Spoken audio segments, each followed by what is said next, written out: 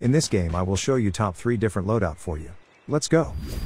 In the first set of loadout, we will use the Skulker perk which will help you a lot since you are not going to sprint in the search and destroy mode.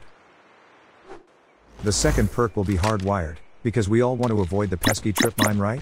And now the third is Dead Silence perk, to make your footsteps as silent as a cat. Now the second set includes Flak Jacket to help you do this.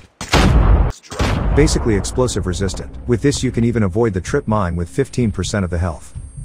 This perk is the Ghost perk, which will make you invisible to the heartbeat sensor.